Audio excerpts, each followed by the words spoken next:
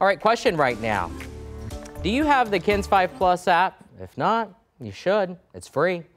But if you need to know how to download it, well, we've got you covered right now. KENS 5's Jeremy Baker has a step-by-step -step guide to get you started.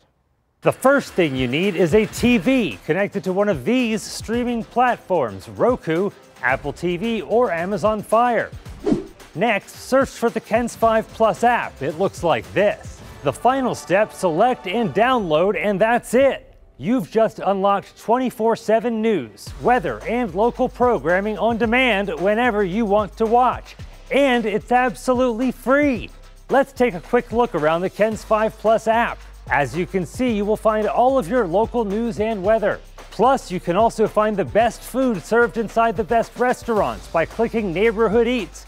And if you're looking for something to do, we have hours of fun ideas that you'll find by clicking Texas Outdoors. So remember, just a few easy steps to get the KENS 5 Plus app for free, and it just takes a few minutes. So download the KENS 5 Plus app now. We can't wait to see you.